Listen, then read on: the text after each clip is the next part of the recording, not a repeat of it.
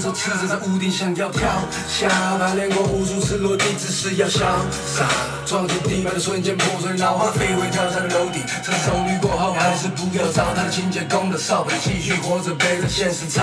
吧。以为顺着下水道能逃出牢笼，却放满一身腥臭，只认为自由的那一秒钟，才发现这样的围墙更加高耸，这样还能保持笑容吗？放纵线不是操纵它，那二零黑没操纵你我，背牌往事分一波，手上发条关节可能会断的利落不分离我，在触摸的天空之前，因为那是无限的自由，在灯火阑珊处充满视线但只有阴险的栏杆，满地失手，握紧拳头紧手掌的指尖，渴望自由的人在嘶吼，却在钢铁做的天地之间滞留。你说是否救赎只在死后？在这之前，我们都是死囚呢？